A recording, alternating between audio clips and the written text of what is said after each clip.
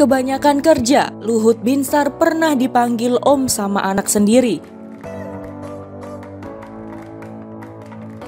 Menteri Koordinator Bidang Kemaritiman dan Investasi Luhut Binsar Pandaitan memang telah melalui sepak terjang panjang di dunia politik.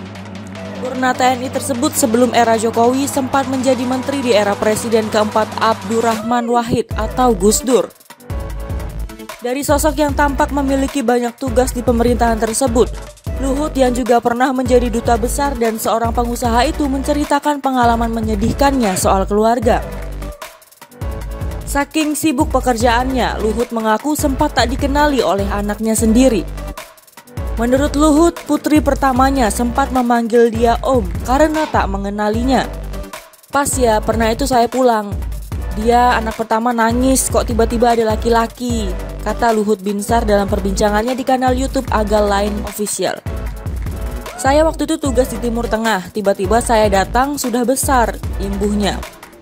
Selain berbagi cerita soal anaknya, Luhut juga berbagi tentang pertemuannya dengan sang istri, Devi Simatupang. Saya ketemu istri di Bandung pas SMA tahun 65 ya, ujar Luhut. Luhut sendiri mengaku bertemu dengan sang istri saat meminjam telepon di rumah ayah Devi. Waktu itu kan telepon yang bisa langsung ke Jakarta itu dari rumah bapaknya karena dia kan dirjen postel. Jadi saya bikin alasan juga lah ya, imbuhnya. Luhut adalah putra pertama dari lima bersaudara dari pasangan Bonar Panjaitan dan Siti Frida.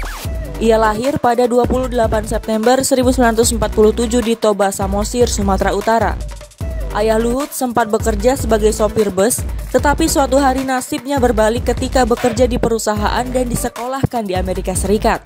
Setelah lulus SMA, Luhut masuk Akademi Militer Angkatan Darat. Selama menjalani pendidikan militer, dirinya berkali-kali mendapat penghargaan sebagai lulusan terbaik.